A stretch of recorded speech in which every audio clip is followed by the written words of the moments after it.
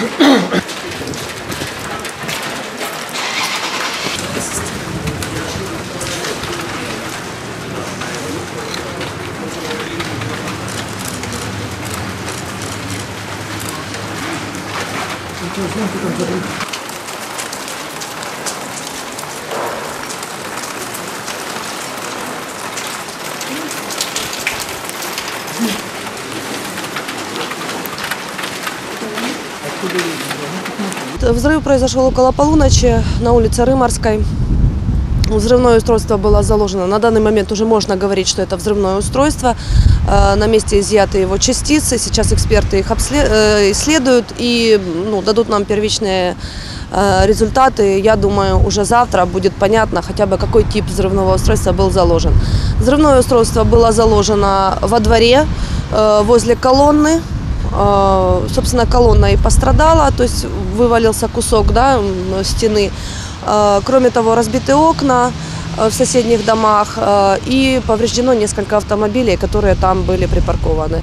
К счастью, пострадавших нет, то есть люди, население не пострадало. Начато уголовное производство по части 2 статьи 194 Уголовного кодекса Украины.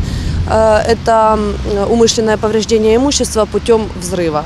Э, Расследование проводит милиция, прокуратура Харьковской области процессуально руководит этим расследованием. Конечно же, оно хо- находится на контроле у руководства прокуратуры области. Проводятся все необходимые первичные следственные действия, то есть э, допрашиваются местные жители, допрашиваются все свидетели, устанавливаются хозяева автомобилей, да, которые там были припаркованы, возможно, у кого-то есть видео.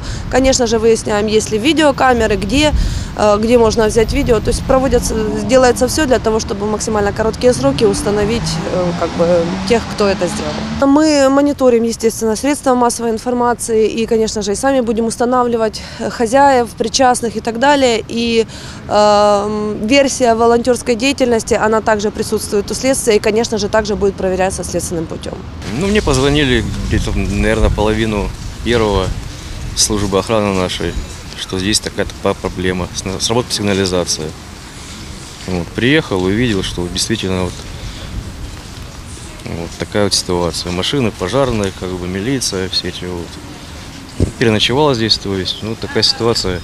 Магазины полностью в середине как бы подразрушены. Окна, двери, все это дело вылечено. Ну, вот тот, кто здесь живет, свидетели говорят, что взрыв был очень сильный. Скорее всего, взрыв, а кто, что, где, зачем, я не могу сказать. Ну, ситуация в стране, скорее всего, дает, наталкивает на некоторые размышления в этом поводу. Я думаю, что с этим связано.